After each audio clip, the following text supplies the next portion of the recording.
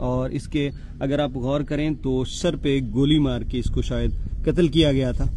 और ये इसकी मुकम्मल लाश है। हमारे गाइड बता रहे थे कि जो असल लाश है, इसका ढांचा है, वो इससे नीचे है।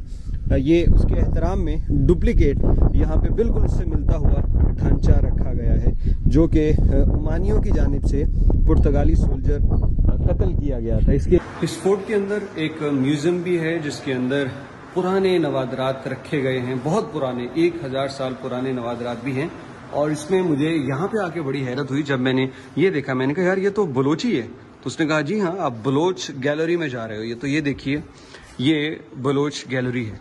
अब बलोच गैलरी का यहाँ पे होने का क्या मकसद है? वो इसलिए क्योंकि उमानियों ने यहाँ पे पुर्तगालियों पे जो हमला किया था तो तब वो बलोचों को लेके आए थे। तो बलोच जो थे, लड़ने में बड़े स्ट्रांग थे उमानियों के बड़े अच्छे दोस्त थे। इस वजह से वो कामयाब भी हुए उमानी लोग पुर्तगालियों को हराने में। और ये बलोच कल्चर को इज़्ज़त देने के लिए यहाँ पे सब कुछ उनका बलोचों का रखा गया है। ये उमानियों के साथ वो नज़र आ रहे हैं। और ये तो बिल्कुल आप देख लें कि यही बड़ी बड़ी शलवारें आज भी बलोच पहनते हैं। नीचे जूता वही है, ऊपर पगड़ी का स्टाइल वही है।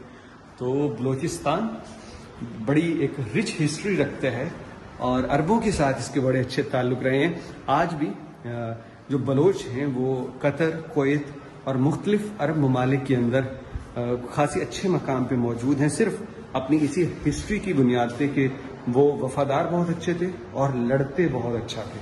तो मैं हैप्पी हुआ कि यहाँ पे